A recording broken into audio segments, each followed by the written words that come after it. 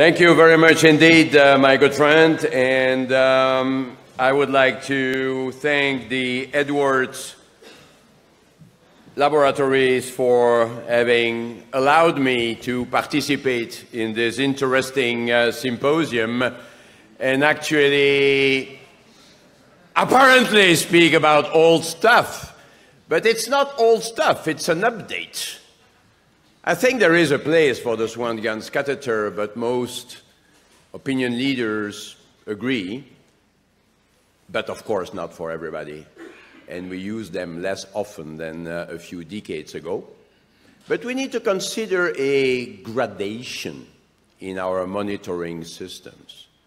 We don't need the most invasive form of monitoring in every single individual.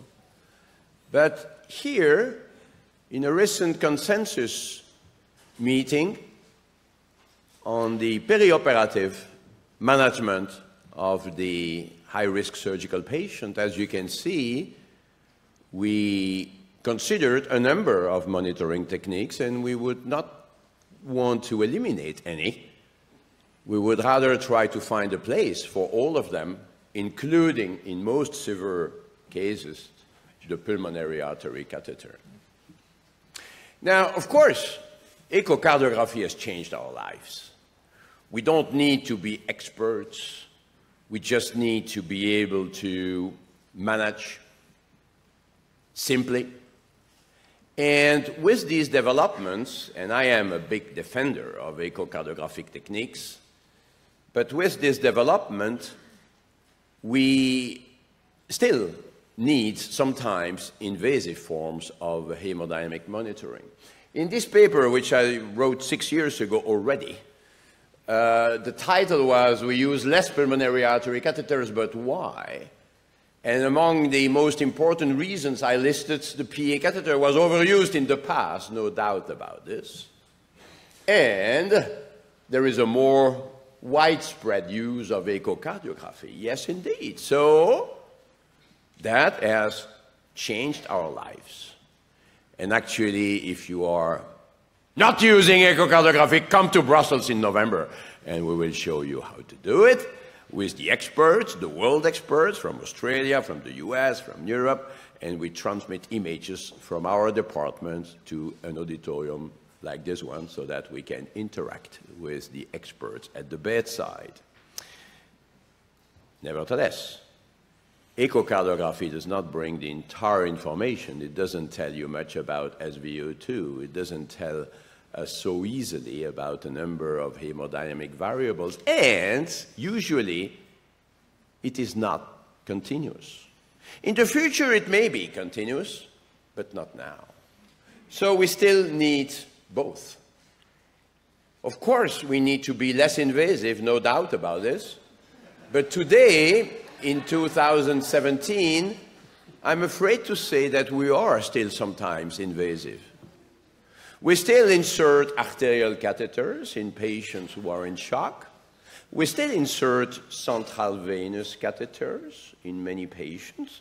And if you read the latest guidelines on the management of septic shock in children, invasive hemodynamic monitoring should be considered. Monitoring filling pressures can be helpful. Observation of little change in the central venous pressure during fluid administration encourages you to continue. Observation that increasing CVP is met by a reduction in the gradient between the mean arterial pressure and CVP would actually suggest that too much fluid have already been given. Last month or two months ago, in children, small patients in whom uh, inserting a catheter may be more a challenge than in our adult patients for most of us. Now, when I was resident, we inserted the Swan-Ganz catheter right away. We did not have the echocardiographic techniques widely available.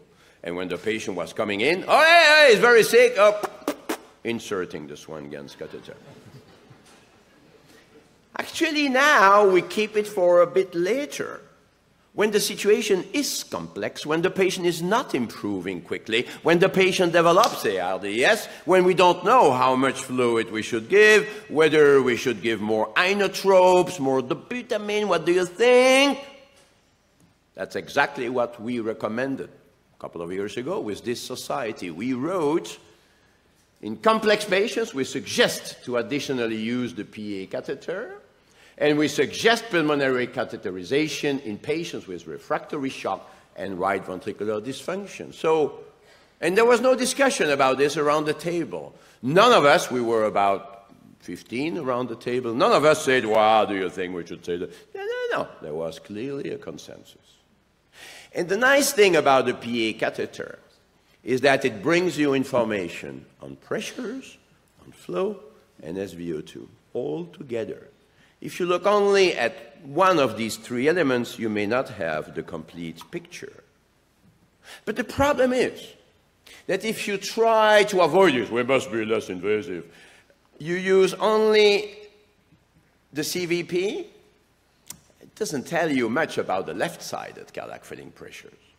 You use your favorite technique for cardiac output measurements, may not be so reliable. You want to measure the SVO2, but you use the SCVO2. That's a crude approximation. So you add approximations to approximations to approximations. What we wrote here in this other recent consensus meeting on update on hemodynamic monitoring, we wrote that a particular hemodynamic monitoring technique cannot by itself influence outcome. But you know, I'm concerned about the fact that there are many people who measure cardiac output and then they are very happy to measure it, but they don't do anything with it. Oh, our cardiac output is 6 liters per minute, so it's good. Or it's 3.8. Not very good. What do you mean? Perhaps when you say it's good, it's not high enough. When you say perhaps the patient was just anesthetized and is mechanically ventilated with a low oxygen demand. As I said at other sessions, cardiac output it's a little bit like the speed of your car. 120 kilometers per hour, oh, that's good. Well, no, not if you are in the center of Vienna. And uh, likewise, if you're on the freeway at 40 kilometers per hour, that indeed not very good. So that's the most important element. If we measure something, but if it does not influence management, and if it does influence management, we must make sure that what we decided here improves the patient's status. So if you just measure a cardiac output by your favorite technique, you may not have the full picture.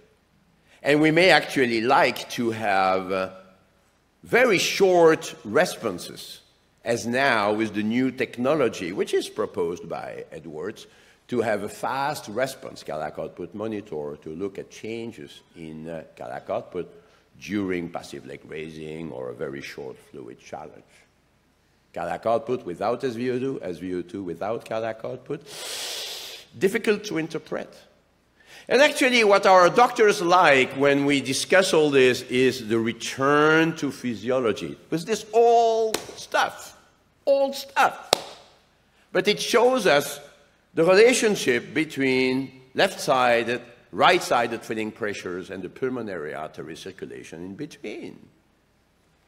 When I ask some young students or young doctors now, how do you interpret this? A right atrial pressure of 12 and a left atrial pressure of 8. You know what they sometimes say? They sometimes say, I don't know, but we don't know this Swan-Ganz catheter. The physiology remains the physiology, my friend. How can you treat a patient if you do not understand the abnormalities? So think about the heart that you could perhaps open so that you have the right side at the left side, because we usually go from left to right when we follow the blood. And so if all cardiac filling pressures are increased. It may mean global heart failure. It may mean hypervolemia, tamponade. But if the CVP is higher than the central left-sided filling pressures, it could be that there is a gradient between the diastolic and the pulmonary artery balloon occluded pressure, something that you can evaluate easily, very easily. with a pulmonary artery catheter. Of course, you can do it with echocardiography. Again, okay, okay, okay. But you can do it here routinely and continuously. Now, I sometimes hear people, you know, sitting down and say, ah, the patient has a heart rate of 125 per minute. Should I give a beta blocking agent? Wait a minute, the physiology is like this. That's my interpretation of a fast heart rate. Don't give beta blocking agents to all patients with tachycardia. Please try to think a little bit about the underlying pathophysiologic phenomena. Oh, wait a minute. You know, this guy is speaking about what is the evidence-based medicine. Has the use of the Swan-Ganz catheter been associated with better outcomes? no. But look at the protocol which was used in these studies. Typically, when the physician felt that he or she needed a Swan-Ganz catheter, he could do it. It's only when she or she, he or she was saying, well, I don't know. Okay, that these patients were randomized. Of course, nobody wanted to really look at the data obtained. But going back to my previous slide, if you want to improve outcome, you need to change management, and the management must be associated with an improved outcome. So if you agree that the Swan-Ganz catheter is not associated with better outcomes, then we need to think. Is it because we didn't change treatment? Then of course we shouldn't use it. Or is it because we changed treatment, but it didn't help the patient? So it means that you know, we should not give more fluids, we should not give inotropic agents, etc., to critically ill patients who are in real trouble. It's actually, it makes us think. Have you seen other studies with other monitoring techniques? Well, we reviewed it a number of years ago, and we found that for pulse oximetry, you can find a large study, most of you know that, large study of 30,000 patients monitored with pulse oximetry or not. No difference in outcome. No, no, no, no, no, no. I gave a talk earlier on the risks of maintaining SpO2 at 100%. Do we have evidence that chest x-rays improve outcomes? Ah, yes, gastric tonometry, yes, yes. This old study published in the Lancet looking at intragastric mucosal pH. Many of you do not know what this is. But when you measure it, you can reduce mortality rate. How many of you use gastric tonometry? Nobody, because it's no longer available. it improves survival, but we don't use it. So we could go on. You can go on with PiCCO, LiDCO, whatever, trans, uh, bioreactance, whatever you like. EKG. Do you want to do a study on EKG? We could. We could actually do a study on EKG. I asked my statistician how many patients we should enroll to show that EKG could improve outcomes, and he told me 10,464.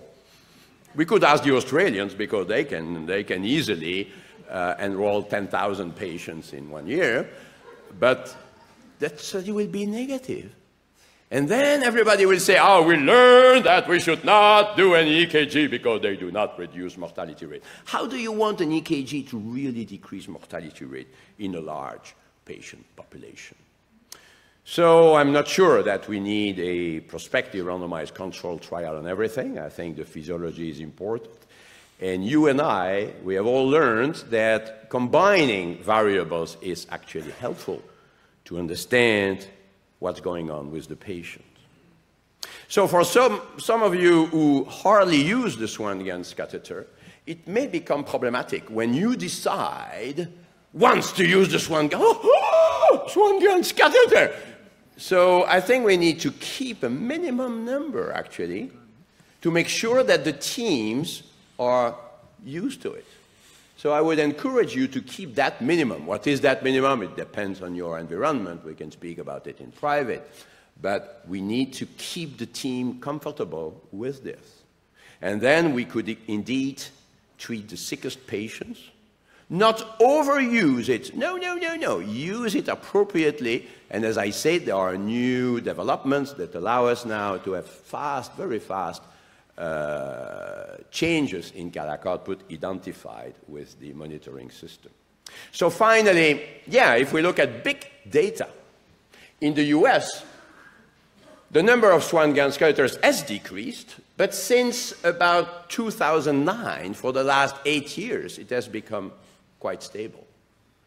That's a very recent study, just published on June 7 of this year. And it's primarily in respiratory failure that it went down, but in heart failure, not so much.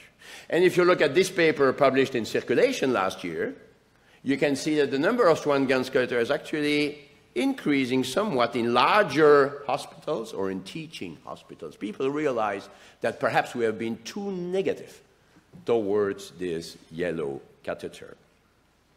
So, in closing, you will say, so what are the indications? Is it the patient with...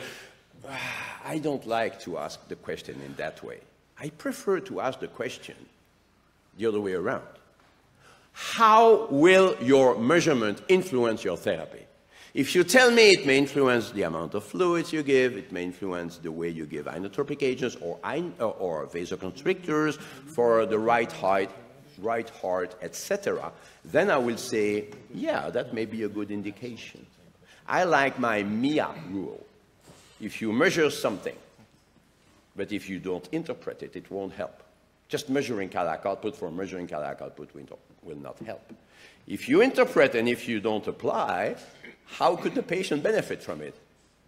So we need to have these different steps together.